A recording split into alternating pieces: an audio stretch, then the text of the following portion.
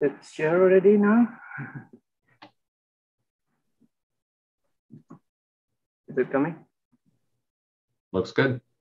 Okay.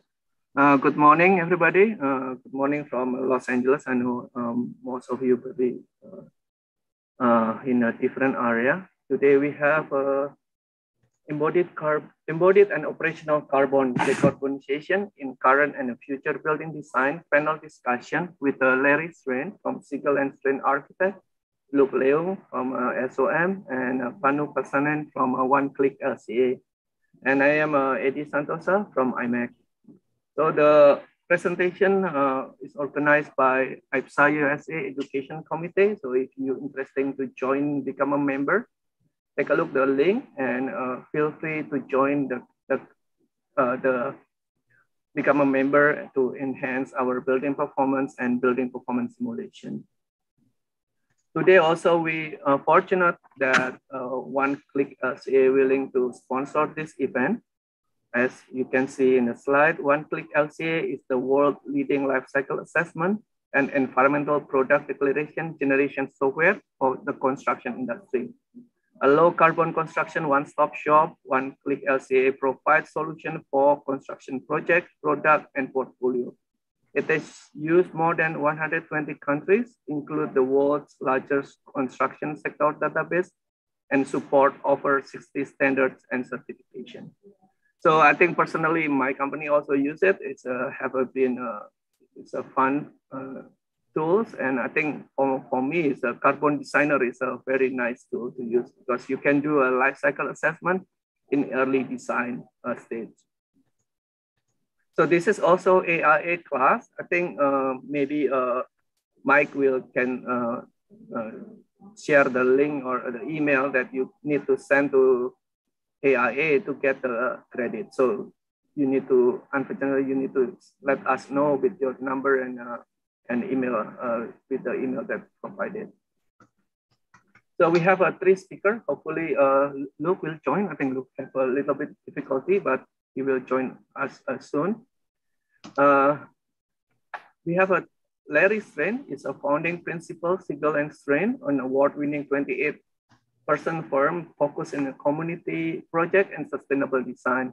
He has been served in USGBC, Northern Cali California, working in embodied carbon benchmarking with CLF, and he has uh, been read, uh, writing and speaking about embodied carbon material building for more than 20 years. I think if you see the 10 step in reducing carbon in the AIA website, it was written by Larry Strain. The second uh, presenter uh, is uh, Luke Leung. Is uh, he's a Luke is uh, I know Luke personally about like maybe more than 10, 10 years Luke is a LEED fellow, ASHRAE fellow, and he participated in many uh, task force in ASHRAE, as well as uh, become a distinguished uh, lecturer for ASHRAE. He is a wide firm director of sustainable engineering studio for Skidmore, Owings, and Merrill. His project include Burj Khalifa, the current tallest building in the world, and uh, four other four of the top 20 tallest building in the world. So if you have a question about tallest building, he will discuss about from a tallest building perspective.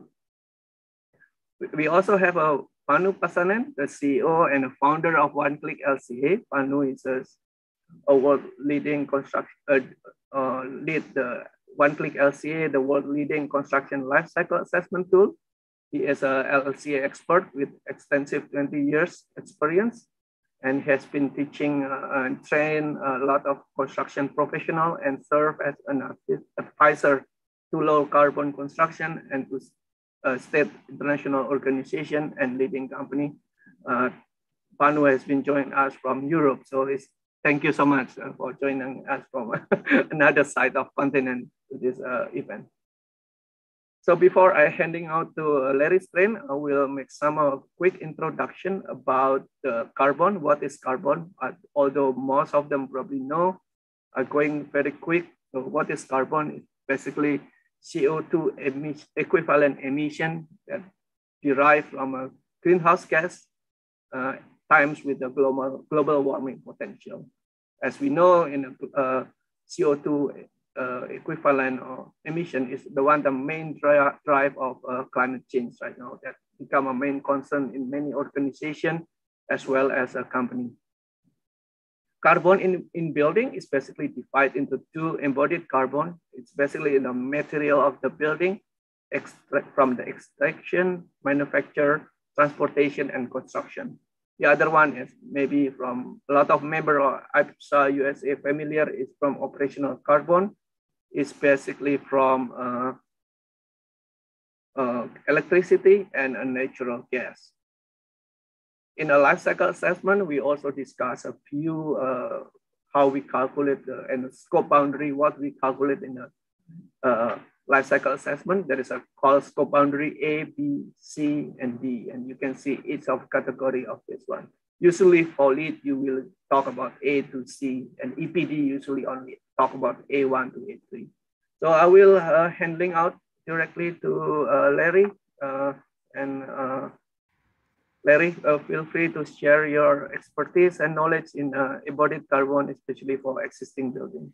Thank you. Great. Thank you, Eddie. Um, I'm going to share my screen. Uh, is that full screen? I think it is. So, good morning. Um, I can skip a few of my slides because Eddie already showed them, so that's good news. Um, so we're going to talk about embodied emissions and how they relate to operational emissions and why they're so important today. Uh, Buildings, as you probably know, make up about 40% of all global emissions. And if you look at this graph, you might think that operating emissions are really what we need to focus because it's a bigger piece of the pie. Um, but there's an important distinction between embodied and operations.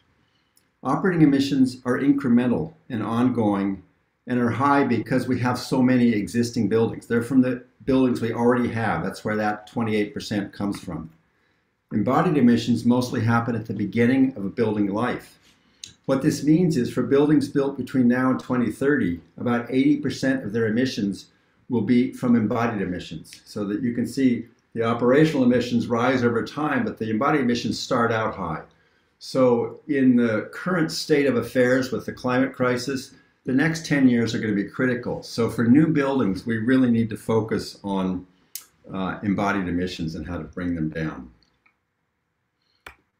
So I'm going to skip these because you've already seen them. Operational carbon, um, embodied carbon. And this is one I'm going to add, which is the definition is what I'm calling an avoided carbon, which is uh, really the emissions avoided by making one choice over another. For example, rehabilitating an existing building compared to demolishing and building a new one, or upgrading an existing building compared to leaving it alone. So you can look at the the savings uh, from those choices. so the first time that I really understood the importance of embodied carbon was on this project. The Portola Valley Town Center is a LEED platinum project, very energy efficient, and it was built with a conscious effort to use low impact, low carbon materials. But we didn't really, we didn't really uh, we did it after the fact. We went back and decided to calculate all the carbon emissions from the building, building the project. It's the first time, actually the second time, that we've done a full whole building LCA. So in order to calculate uh, the emissions of, for materials, you first have to know how much everything weighs. And the first thing we learned was that concrete weighs a lot. These are wood frame buildings, clad in wood, wood paneling, wood ceilings, and some wood flooring and concrete still accounted for 80% of the total weight of these buildings. We then converted the weight into emissions using an LCA database. This was back in 2009 or so, um, the ICE database out of Bath, England. And concrete also accounted for the largest portion of emissions, but you can see it's a lot less than it is by weight. So about 40% of the total emissions were from concrete, Wood accounted, all the wood accounted for about 12%, and steel products a little over 13, even though we used half as much steel as wood by weight. You can also see significant carbon emissions from the foam insulation, even though we used a tiny amount by weight. So the lesson from this was focus on the materials you use the most of and the carbon intensive materials. So the high carbon materials and the high volume materials are what you really should pay attention to in reducing emissions. We then modeled a base case building with the same design using standard materials, and we compared it against the materials we actually used in our building. The base case building was about 450 tons of carbon for the whole project in just the materials, and the as-built project was about 305 tons. It was about a 32% reduction. And most of that reduction, it came from a lot of little things, but most of it came from the concrete, which was not only the largest uh, contributor, but the, the biggest savings, about 80 tons of carbon saved by using a very high slag, high fly ash mix design. And this, we used a lot of salvaged wood, over 20,000 board feet of salvaged wood in this project. Um, and the reason that that shows as a negative number is that partly because the wood's not going into landfill and decomposing and burning, but also because the trees that we didn't have to cut down are still standing and sequestering carbon. So how did the embodied emissions compare with the operating emissions? As, as I mentioned, the buildings were very efficient. They use about half as much energy as a building designed to California Title 24 at that time. And a lot of that energy was supplied by PVs. These are some of the green features we used to accomplish it. And we even discussed eliminating natural gas, but design this design happened in 2006, 2007, and the client wasn't ready to do that. So there were a lot of passive features incorporated, backed up by very small, efficient systems um, to heat and cool the buildings, mostly heat, actually. So the standard code compliant building, our base case building that we, we had modeled um, as, a, as a test case, uh, had about a total of 2,100 tons of carbon emitted over 20 years. Uh, embodied emissions were 450, the operating emissions about 1680, and this is a Title 24 code compliant. The, actual, the building we built was a little over half of that. So the embodied emissions went down and the operating emissions went down. So you can sort of see that the, uh, the savings were, were really significant, almost 50% over 20 years by this. And we were really not uh, doing low carbon design in the sense that every material was selected. We actually did this after the case, went back and checked how we did. And uh, turns out we did pretty well. So the last thing I want to talk about is existing buildings. Reusing and upgrading existing buildings is going to be a key strategy to reducing carbon emissions. It accomplishes two things. The upgrade part reduces current emissions from all the existing buildings, which is 28% of global emissions. And the reuse part makes it possible to build fewer new buildings, thereby reducing future embodied emissions as well, which is 11% of the total. But we haven't had a tool right until now that could compare all the variables of embodied and operating carbon for different building and reuse scenarios. So this is a tool that we're currently developing that compares operating and embodied emissions for a building retrofit in a new building. The tool compares the average operating emissions of an existing baseline building from the CBECS database versus the total emissions operating and embodied of a new replacement building and a new retrofit and a, and a retrofit of that existing building. You input the type of replacement building you want, you specify the level of renovation the building needs. The operating emissions are calculated from EUIs that you specify for both the new building and the retrofit, and then the different scenarios come with different embodied carbon values. This is what the dashboard currently looks like. You can see you can enter data in these gray boxes about your baseline, which also includes where the building is, which would include your climate zone, your grid efficiency, all kinds of things are built into this. And then you enter the retrofit information about the retrofit, how much of a retrofit. Each of these um, white boxes have drop-down menus. You can select different levels of uh, retrofit for different types of the build, different pieces of the building and you can enter the type of new building. Is it, what, is it a heavy building, sort of a medium-sized building, a lightweight wood building, and it gives you an embodied carbon uh, number for each of those.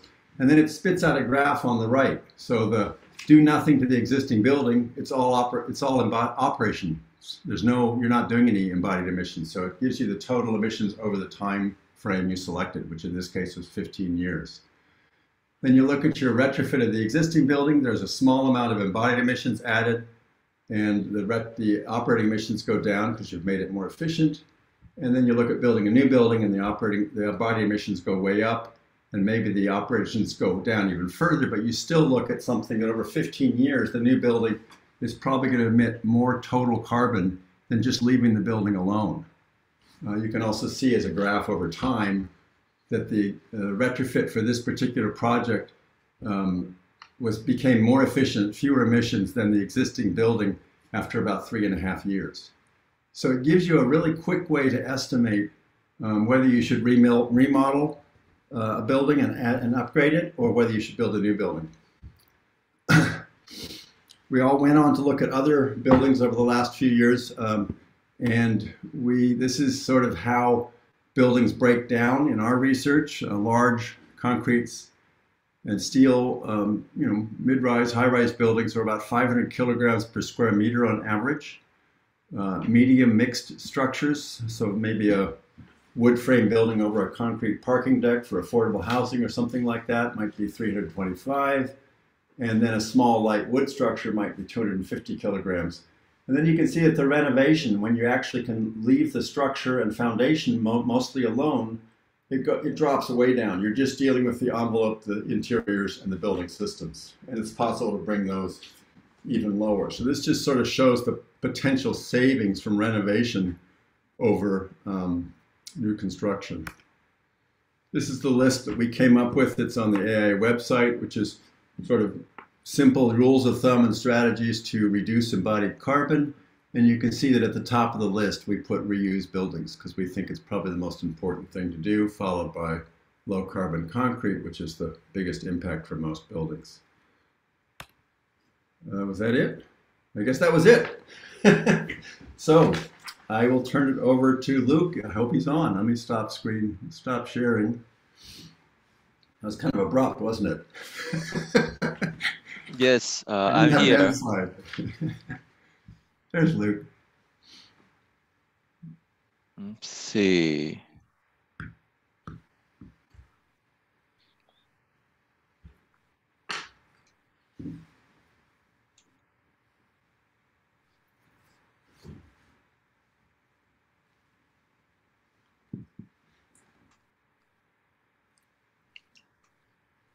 The screen you are sharing is the slide sorter. We don't see the presentation mode screen in case you're on two screens.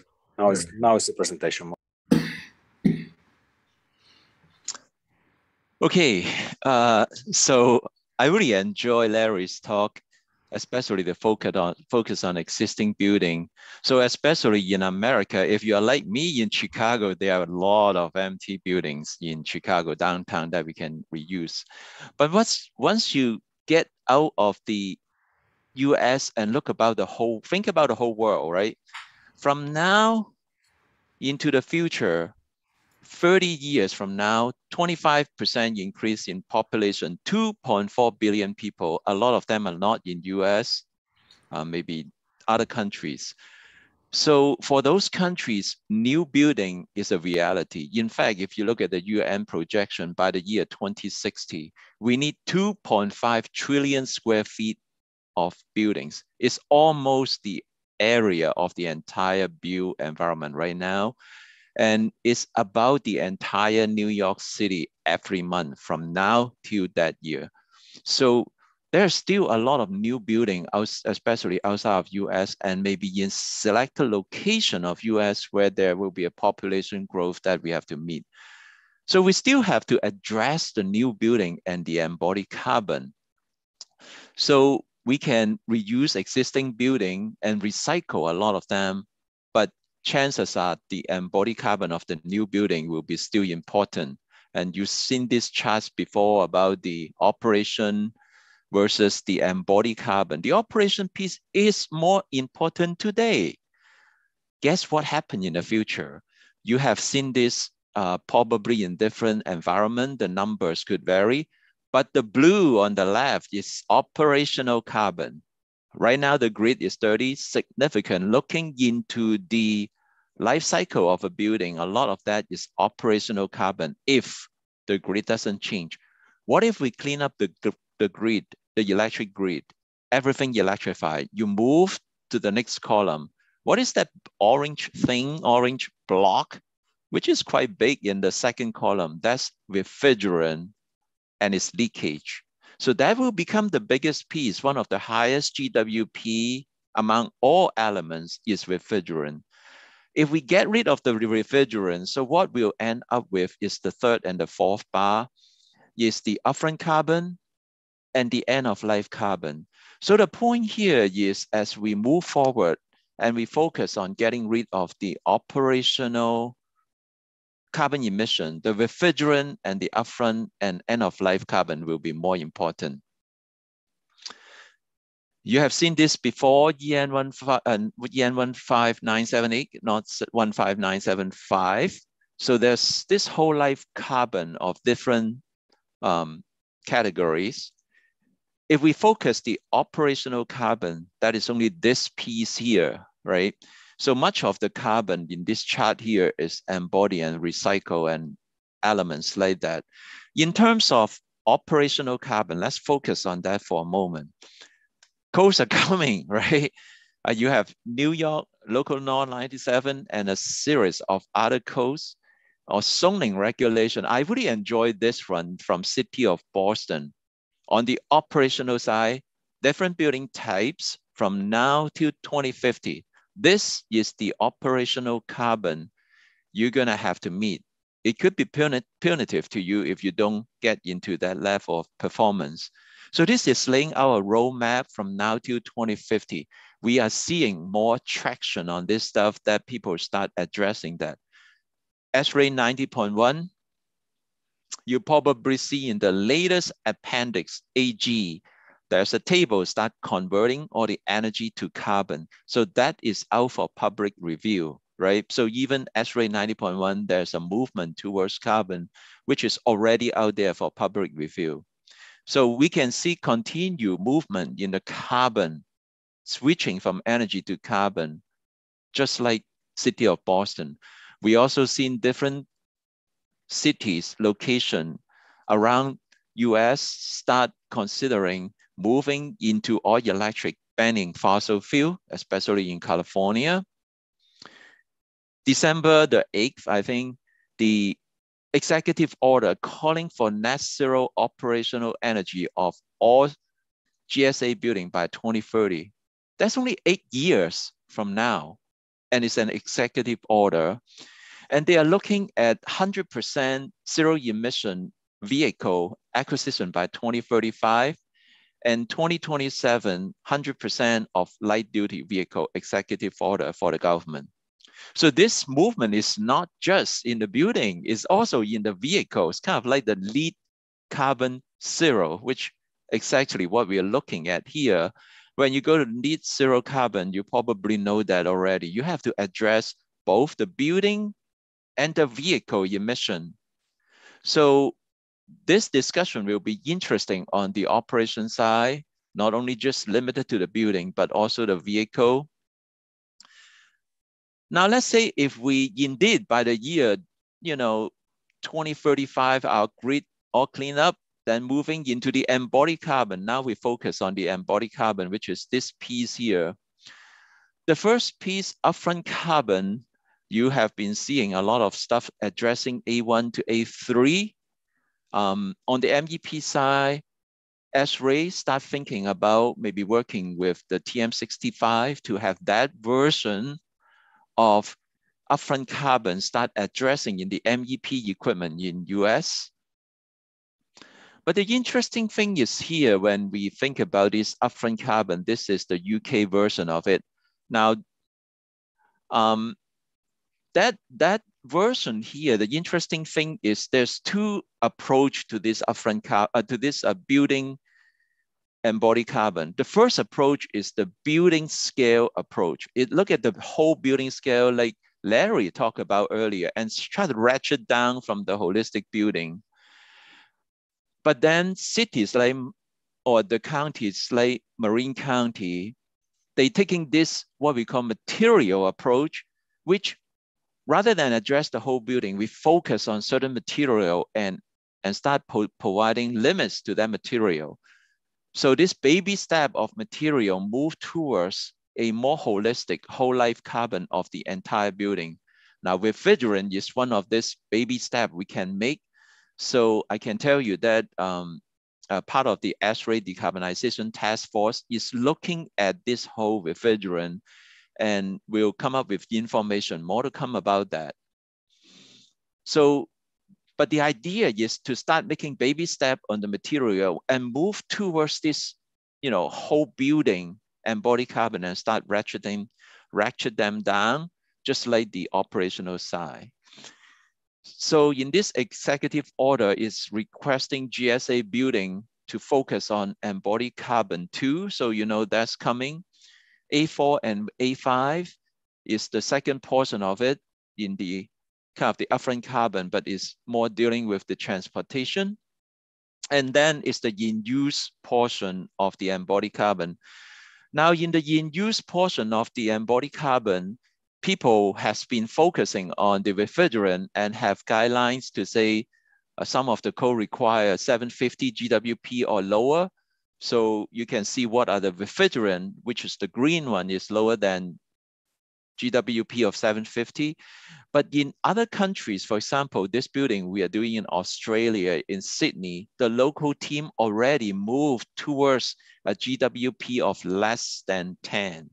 Now, we whether that will come to America sooner, we don't know yet, but like definitely that movement towards low GWP refrigerant is coming. In certain part of the world, is already much lower than we are. So the refrigerant piece actually um, is important as you saw earlier, and it appears in different parts of the embodied carbon. Wait, why is refrigerant an embodied carbon, right? Why is it not operational carbon? Well, here's why, because if we focus on the e EN15978, refrigerant comes with the building. So during the operation of the building, the refrigerant can leak, but that is a that is what we call a maintenance and refurbishment of like what the embodied carbon is missing. It's almost like during a building come with embodied carbon in the in-use stage, the building will have maintenance you're gonna do. Now, but you don't count those as your EUI, right? You count it as just you have to fix the building. Same as the refrigerant, you count it as you just have to fix the refrigerant. That's why it's not part of the operational carbon. Like this guys here, the EUI, which you have to put energy into the building is very different than the idea of refrigerant leakage, which is something you have to fix on the and on the embodied carbon side. But the confusion is, if you look at scope one emission, is actually count as a fugitive in scope one. So depending on where you look at scope one emission, versus, or versus you look at LCA framework, in the LCA framework, refrigerant is actually embodied carbon, not operational. So finally is the end of life carbon. And then you have to have the circular economy, that is the whole life carbon framework from EN 15978. As I mentioned before, CIBSE already has TM65 to address kind of this embodied carbon piece. We are reviewing to maybe use some of their methodologies to uh, also address the MEP embodied carbon in US. So this is what we're gonna end up in the embodied carbon side if we're gonna go down the road of the UK. From now till 2040, if we want to be net zero whole life carbon by 2040, the first step is like what Larry was showing, right? You ratchet down the, not just the, the material scale, but the building scale embodied carbon. In this case here, the UK is limiting the you know different building type from five to 600 to about 400. But the interesting thing is they also start looking at upfront carbon, use recycle material, and sequestration, and also end of life carbon. In fact, by year 2020, the UK framing is you're gonna have to use 30% sequestration or you re recycle material on the upfront carbon and 50% of your end of life carbon have to be able to recycle or sequester. So that's how they look at that. And as you go down in time, you're going to have to up that by the year 2030 to 50% upfront, upfront carbon is recycled or sequestered, and then 80% of end of life carbon has to do similar. And then your whole life carbon, and then your embodied carbon number will be lower, no matter where what building type you are, from 300 to 350. Um, so that's kind of what they're thinking. Of course, you know, towards the end, by 2040, you will be 100% upfront carbon and end of life carbon to be recycled or sequestered in order to get to that whole life carbon zero on the embodied side. So this is kind of the roadmap that we may be seeing in the future.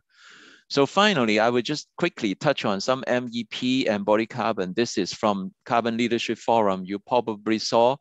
So, you know, just roughly looking at it, the MEP in these studies here, no matter your high performance building or conventional building, you are less than 100, 100 um, kilogram per CO2 equivalent per square meter. So if you think about a building right now, it's about 500, 600 per the slide we saw earlier. So MEP maybe, you know, something like 100 out of that.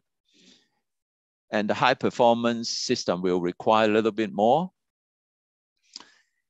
Now, this study from CIBSE is actually interesting in the sense that they dive deeper into the HVAC equipment. What they find out is if you include all the refrigerant or the, or the you know, localized embodied carbon data, the embodied energy or carbon can be a lot more, especially, um, you know, when you getting all those, all those details in what they think come up with the heating system of a residential building can be up to 25% of a dwelling's whole life embodied carbon. So this is the later, latest uh, research they come out. So as we get better resolution on the MEP number, you will, you could find some interesting, you know, paper pop, uh, ideas. For example, for example, like this one here. So with that, I'm gonna close it to uh, later on further questions. Thank you. Think uh, Panu can start. I think the question and answer will be after Panu and feel free to post. Excellent. So hopefully the audio is first talk. Uh, all right, so my Zoom crashed. Hopefully it's still online. Uh, we still hear you, Panu, but haven't seen your screen sharing. Cool. Um, Vasilis, I think you better go because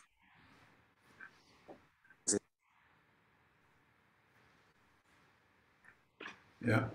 Let's try it again. I think I might be having the same issue here, to be honest. I keep on crashing um, today. Um, there we go. Uh, no coming. Good. All right. I'm trying again, but I will not put it on full screen mode uh, just to, you know, um, be able to do the presentation. My apologies for the um, deficiencies in the technology. So I will first um, talk a few things about where we're coming from because we are doing this um, at a global scale. So um, um, we have some concerns which may become apparent only in LCA data in that context.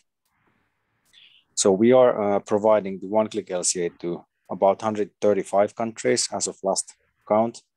And uh, we provide it for two main sectors. So we uh, provide it for building and infrastructure design and construction, and we provide it for construction product manufacturers to generate EPDs and publish them. So we work with the data both at the side of the consumer of the data and both at the side of the producer of the data. They are quite different problems. And uh, we have a database which contains somewhere around 120, 130,000 datasets, uh, which broadly covers all the EPDs in the world. Um, we work with all types of uh, players in the value chain, excepting maybe real estate agents. Um, and uh, predominantly though with everything to do with design, uh, because well, that's the, let's say the profession with the biggest uh, impact. Um, as practitioners, of course, funders have a huge impact when they impose requirements as well. Uh, way we look at this and way we are concerned with data is uh, across different phases of a project. So the concerns you have with the LCA and the concerns you have with the data are completely different if you are looking at the project in the earliest phase stages when you haven't even decided exactly how many you know floors you're going to have maybe uh, to the point when you actually have your drawings all done and you're predominantly concerned with sourcing and uh, the data problems uh, we deal with are across all these different phases because we provide tools for um, doing assessments at these different points uh, over a project's lifecycle. And uh, what Eddie mentioned earlier is Carbon Designer. Uh, Carbon Designer allows you to literally do an assessment at the schematic uh, phase without any design information. So you just need to know number of stories, size of the building, country, and uh, yeah, that's it actually. So uh, you can very um, very easily start optioneering from a limited information point of view. And then there's some in, uh, integrations uh, to design tools and such like. But now with that, uh, let's go into the LCA data. And uh, I'll be talking about it from quality, consistency, and verification points of view. Uh, we have um, made it a point to promise um, that we verify the data to our customers. Uh, why we have done this is because the data broadly is trustworthy, but all of the data is not trustworthy. And uh, we have uh, all kinds of problems when we look at the EPDs on the market um, on the whole. For example, there's there are a lot of generator-driven uh, concrete EPDs in the North American market. And when we checked the data, we found 500 which had the word test or demo in the label of published EPDs. And uh, of course, that's not a very strong indicator of high quality, um, if you understand what I mean. So uh, we have decided that to be able to trust the results, the data has to be checked. Is it perfect? No, because we are not able to access the upstream data. We are not able to access what was actually used in the assessment. We are only able to access what is available on the EPDs themselves. Uh, but we will then check the things based on that. And uh, we catch, uh, let's say, um, less than one EPD in thousand is blacklisted, but um, yeah, but a few, um, like a, several hundreds of EPDs are blacklisted, but then many more get that attached with warnings because we have some concerns about their quality. And uh, in our case, the way we do this process is that we um, start by checking the EPD quality. And uh, we do it using a process that we developed originally together with the building research establishment, or basically they approve the, the process.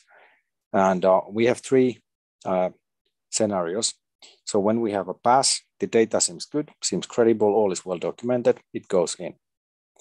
The second case, when it's pale, it's a blacklist, um, or for other reason um, discarded, um, we won't approve it. And the third case is when we can't prove that the data is wrong, but we can't prove it, or we don't know if it's right either. So then we attach a warning. Um, this is very common when we have, let's say, highly unusual materials, so um, which have barely any comparison points. So um, in such cases, it's very hard to verify whether it's uh, credible. And then what we do is we add quite a lot of metadata on the data sets. So it's possible to understand what it's eaten basically, and then we release the data to use. Uh, but we have data available from the world, and uh, some countries have slight differences in the LCA modeling methodologies. So we actually classify the data into different domains of data.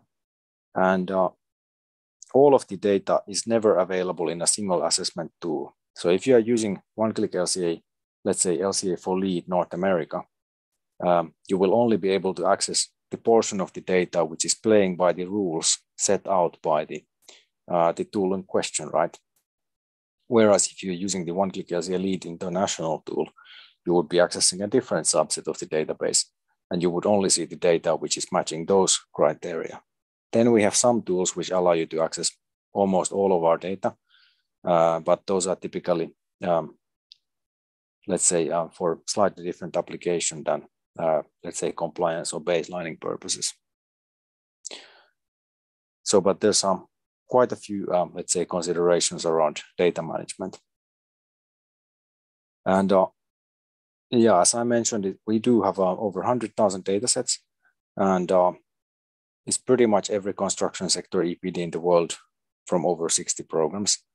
Uh, it's never exactly every EPD, of course, because new ones are published daily, so we are never up to date on the day. We will always be up to date with a month's catch up latest also. And uh, there's a lot of different types of data um, that we handle. I will just go through the main categories, um, not to like get in too much detail here. So the first category are public EPDs. Uh, very clear, we review, we put it in. Second, public LCA data. So Larry mentioned he'd worked with, um, you know, non-EPD LCA database back in the day uh, from the UK. We do have ICE database, we have EPIC database from Australia, we have a bunch of other similar databases. So uh, we do also have uh, public LCA databases, obviously. And uh, then um, because of comparability reasons and because of availability reasons, we have also generated our own generic datasets. Um, we do have maybe somewhere like um, 800 or so of those. And um, those are then used um, to have a comparable and consistent global set of generics. So whereas ICE represents predominantly, let's say UK slash Europe, EPIC represents Australia, one-click LCA generic data is generated in a way that it can be used as generic data to represent any location from, you know, Japan, Azerbaijan, Texas, whatever. And we do have then uh, energy and process profiles, which are generic. And then we have private LCA data, which is not controlled. So if you, you know, have private data, we don't check it. It's your responsibility. And then we have some licensed LCA data for which we pay license fees to somebody. And uh, in some cases, we have mandatory data. That's usually only in regulatory context, predominantly applicable in the UK, French, and Dutch markets, where there are LCA-based regulations. And then we have slight amount or let's say a few thousands of data sets, which are not LCA-based data, but which are greenhouse gas um, reporting data sets, which are of course not available in um, LCA tools. So, but there's many different types of data we work with. And uh, as a user, you will always only access the parts of data which are actually matching the requirements of the tool that you would use. And uh, then we get to the point uh, of choosing some data and uh, what kind of decisions you're making and what data should you be using. And uh, when you are making design decisions, you never start by you know choosing the supplier, or you usually don't start by choosing the supplier, right? So you start to think about how do you build. Do you want to do a post tension slab? Do you want to do you know maybe your location does hollow core? Maybe you can do bubble deck. Maybe you can do you know whatever.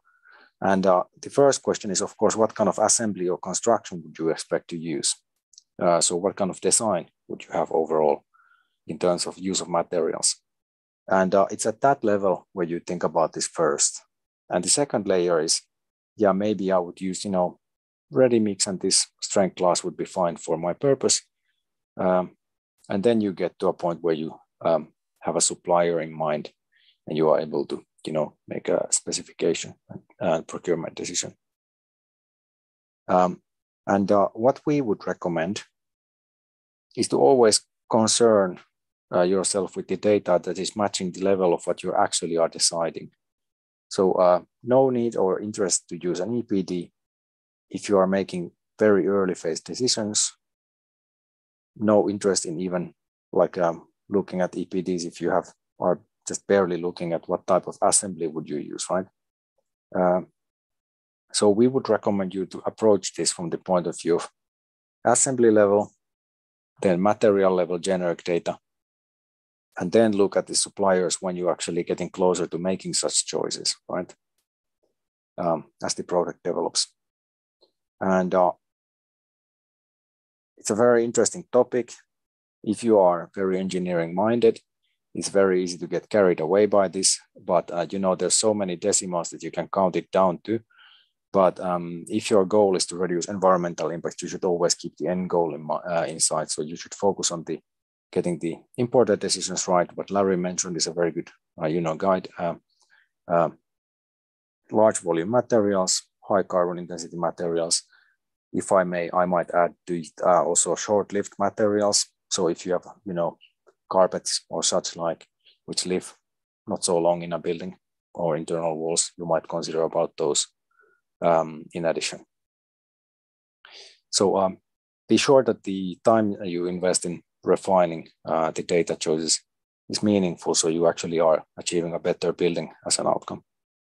And uh, in our case, we put these warnings in the software. So if we are concerned with it, but yeah, literally um, once an EPD is published and third party verified, it can still have um, errors. And uh, of course, you can always try to benchmark the data if it's plausible or which end of the range it is. And uh, that hopefully helps you to make better choices.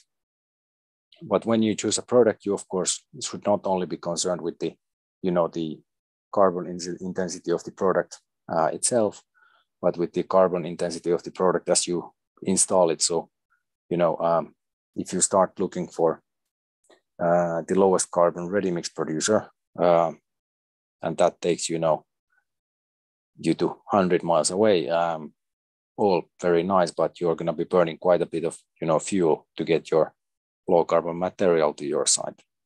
So at some point, there's going to be a trade-off uh, to be mindful of. Uh, that's it really from my side. Um, happy to join the discussion and uh, talk about the matter further. Okay, thank you so much, uh, Larry, uh, Luke, and Panu. So we have a few questions that I saw posted. Uh, let me try to pull one by one. Uh, I think the I think the first question is uh, for Larry. Larry, there's a question from uh, Carl Johnson. Why do you average the embodied carbon? I think it's maybe related to your presentation. Uh, it happened when you build a building, so it, in his opinion, it should be just in the one time in the beginning.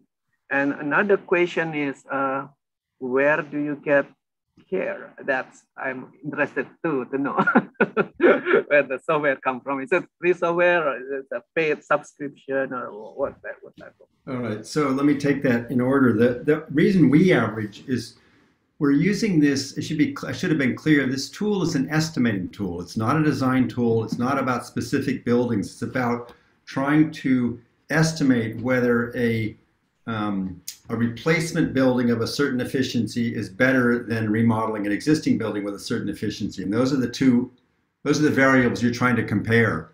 And generally speaking, if, the, if both scenarios can be the same efficiency, it's almost always better to remodel. But if the new building is twice as efficient, sometimes it's better to replace. So you have to take all those things into account. And we're not yet at the stage of actually knowing what the building's actually going to be. So we're really trying to come up with some simple benchmarks for we, we, we developed four different building types for replacement buildings. A heavy concrete, those that chart I showed, the heavy concrete steel building, the medium building, the lightweight building, and those are our benchmark buildings. And obviously your real building is going to be different, but we're trying to give put you in a ballpark. And then for the renovations, we end up with all this this menu of different items you can pick on different systems and how much you're going to replace and like that and we're trying to give rough ideas of what each of those embodied carbon decisions are so uh, it's just to be clear that we're not trying to design the building yet we're trying to make an early decision about whether we should even build a new building or not that's what the tool's for um, the, the tool is not available yet. It's in Excel, so it's just we have to send them out individually and still kind of we're still working on it. So we have um, a developer right now converting it to an open access free web-based source that will be available probably in May. Yeah, we definitely look forward on that one. Uh, second question, I think that's some more opinion, I think, but I want to hear more also from Luke. uh, Kim have a question about the putting the refrigerant as a part of embodied carbon. Is there any any benefit how we put uh, certain material in embodied versus operational? What, what do you think? Luke? is there Yeah, any, I mean- impact in the design? Yeah, uh, it will, it will, well, let's step back a little bit. I think there's at least a couple reasons why, and I understand the Kim's point that, oh yeah, there's leakage during the operation of the building, right? Now, two things. Number one, energy use intensity is not refrigerant. It doesn't include refrigerant, number one. Number two, if I build a building, come with a chiller and refrigerant, in the perfect in a perfect case, if there's no leakage, right? Then that's your total embodied energy of the building that come with it. Now there's leakage because the system is not designed right. Uh, no, I'm sorry. That even the system designed right, there will be issues that refrigerant will leak. And yes, but that is actually you're trying to repair the embodied carbon of the building. That's why it will be count as the silo of embodied carbon. It's because of those two reasons it count as the silo of the embodied carbon. Let's say if you have a building has very little fuel installed piping, most of the refrigerant are trapped inside a black box. Your embodied carbon will be lower because there's less leakage.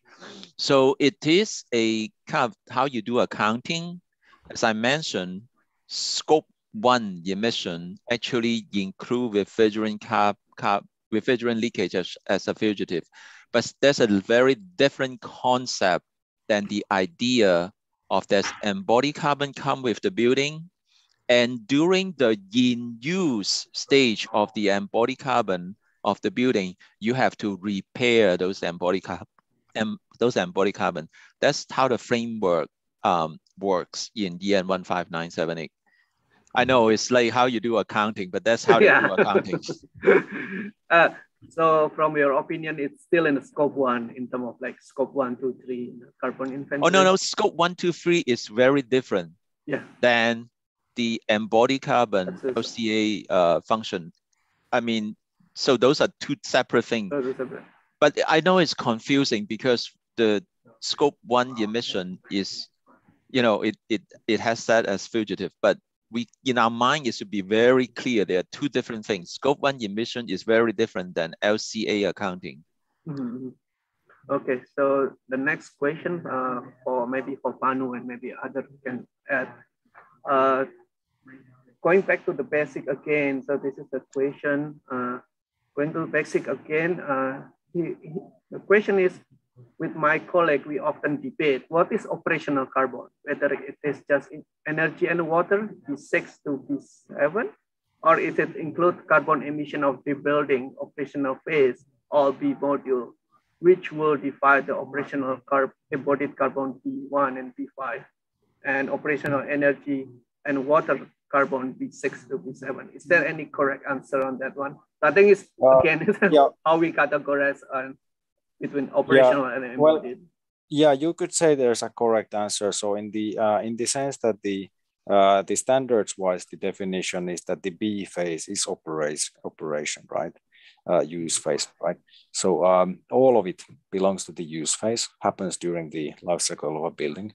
Uh, the most formal definition you can have is in the World Green Building Council, and uh, World Green Building Council defines operating carbon as everything that happens in the B phase, you know, from B1 to B7.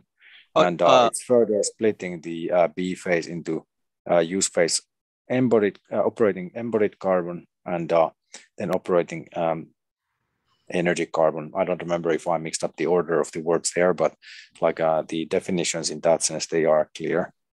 So like we should be careful because in the in use phase, B1 to B5 are considered as embodied carbon per EN 15978.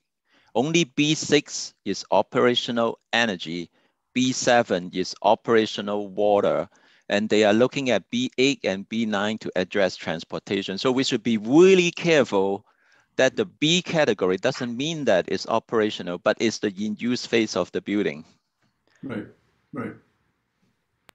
Anything to add, Larry? Or no, that that's right. I mean, people people confuse uh, use with operation, like Luke said, and it's not it's not the same thing. It's everything that happens during the use of the building, including embodied, like replacing a window. The embodied carbon to do that is the same as fixing the refrigerant. It's all part of the embodied carbon piece, which is not the EUI of the building. So, like, we our mind gotta be really clear about this stuff, right? Otherwise, the EUI number will be all goofed up. Right. Right. Okay, uh, let me try to add uh, one more question for each and see. Uh, Larry, uh, in, in architecture or building industry, we often see like if my client doesn't ask it, we don't do it. So how do you sell kind of like service that uh, oh, or your expertise? we always get this question. There's two ways we do it. One, we just sneak it into the building. We don't tell the client. We just put in low carbon concrete. You know, at this point in the Bay Area, it doesn't cost any more to do that. So they usually don't ask, most clients don't ask to see the mixed design of your concrete. So you just put in the lowest concrete you can find. So that's one way. The other way is if the client has stated goals about uh, reducing their carbon emissions, the thing that I always bring up is it's not just carbon emissions, it's carbon emissions over what time period. So there's the time value of carbon. Right now, it's really critical. We have about 10 years to make huge reductions. So if you're building a new building, the biggest reduction you can make is focusing on the embodied carbon. The, the use phase is going to happen slowly over the next 10 years. The embodied carbon is right up front. So you can sometimes get their attention by saying, look, if you want to make a difference, 80% of what you can do is now before you build the building. So that's that's how we approach it. Doesn't always work, but if it doesn't work, then we just sneak it all in. okay, thank you so much. Uh, look, I have a question for you. Uh, from uh, energy modeling or MEP design, are there any standard practice or typical practice that you think we should improve in the future to achieve uh, lower whole life carbon design? Or additionally, if you you work in many high-rise buildings, right? Definitely, and I saw like Urban Sequoia uh, what do you think that we learned from there that we can implement in current project or that you have been implementing your current uh, SOM project? So, okay, I think there's two things there. The first question is, yes, from the modeling side, we cannot just do energy modeling and think that's optimized, right? Let's say if I do a very passive building, with high embodied carbon and low operational carbon. So you have to really look at how much embodied carbon you have and how much operational carbon you have and find that optimum.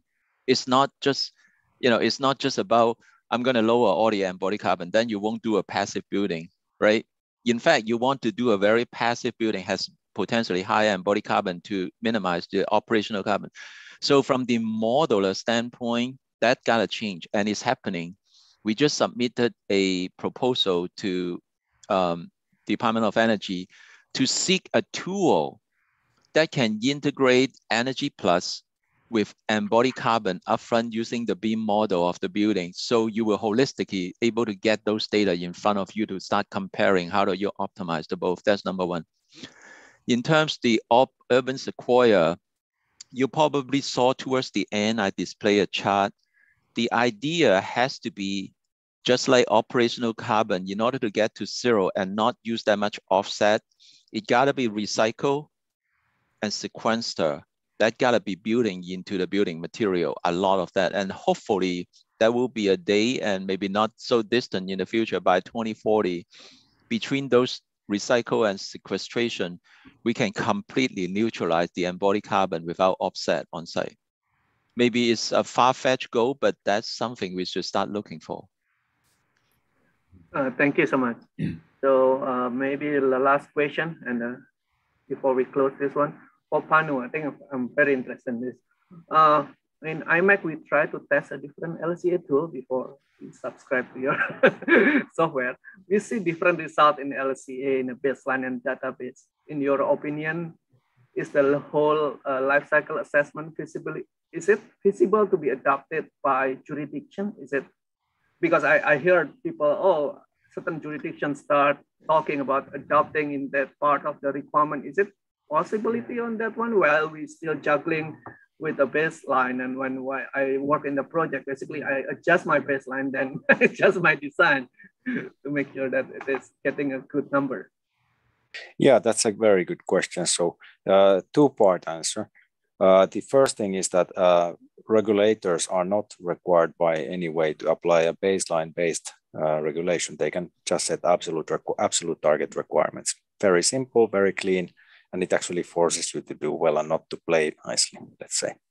Uh, but in the case of baseline, if you do it, uh, you do have to do it um, to make it like, let's say, rock solid. You have to do it a bit different, I would say. So Norwegian government has something which is called reference building. So it's not a baseline in the sense that it's uh, it's flexible, but then it's strictly normative, and it's a it's a kind of tedious thing because uh, it's normative to the mm, details in a way but it provides a confidence to a baseline. Um, but uh, it's, it's definitely possible to do. And uh, we have about 10 countries in the world today which are moving forward with national mandatory regulation for um, life cycle carbon or embodied carbon of buildings and plus state level regula regulations in, in North America. Okay, uh, thank you. Uh, is there anything to add, uh, Luke, Larry? Or... Okay. okay. I think that's all for us. I think we a little bit exceed five minutes. Thank you so much, Larry, Luke, and uh, Panu, who joined from uh, another continent. uh, we definitely uh, learned a lot from all of you. Uh, Larry, we will waiting more about the CARE software. Hopefully it's free. and uh, Luke, also, we definitely look forward to see more of your work on a, a high-rise building and super tall building. Panu, we definitely uh, keep in touch and looking for more learning about more database, how we make a database cleaner. Because in my experience, a database is the big issue because we run a three software and we get a delta number is about 30 to 50%. So we still even don't know which one is correct. That's I think is a challenge for industry, but we push forward and we always try to make it the building better and better. Thank you so much, everybody. And uh, don't forget, if you want to add uh, your AILU, you need to email. and I cannot promise, but hopefully you can use for your architect license extension. There is a requirement that you have a five uh, credit now for in California, especially people in California. Thank you so much, everybody. Right. Uh,